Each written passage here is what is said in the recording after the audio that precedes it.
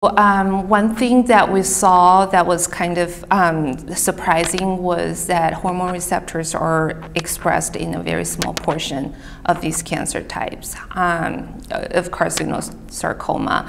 So, um, you know, historically, hormone therapies haven't been tried or attempted extensively in this cancer type. Um, you know, that just prompts the thought of maybe you know, when the physicians are running out of options to, to consider hormone therapies.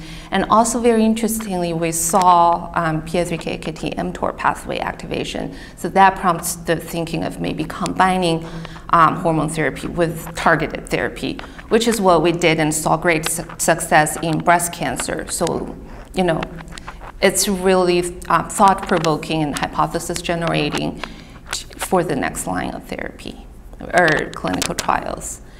Also, very excitingly, um, PD1 and PD-L1 uh, overexpression was found. So that just means this pathway is activated and, um, you know, um, all these immunomodulatory agents uh, may be a promising candidate for next uh, clinical trial.